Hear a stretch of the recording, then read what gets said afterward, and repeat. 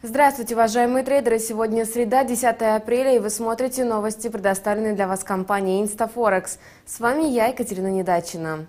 Проведение стресс-тестов для крупнейших банков США – весьма положительное профилактическое мероприятие не только для создания дополнительной устойчивости к кризисным ситуациям самих финансовых институтов, но и для всей американской экономики в целом. Как отметил глава Федеральной резервной системы, экономика США сегодня гораздо стабильнее и сильнее, нежели это было в 2008-2009 кризисных годах.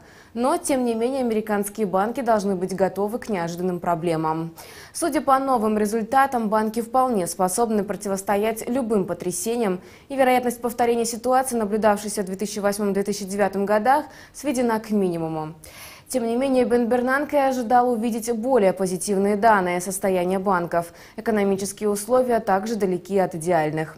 Такой пессимизм Бернанке отразился на настроениях трейдеров. Доллар по отношению к большинству валют опустился. Индекс упал на 50 пунктов к отметке 82,5 пункта. Слабость американской валюты объясняется также и наращиванием активов на балансе ФРС в ходе программы стимулирования экономического роста и занятости. Это были новости рынка Форекс, подготовленные для вас компанией InstaForex. До встречи!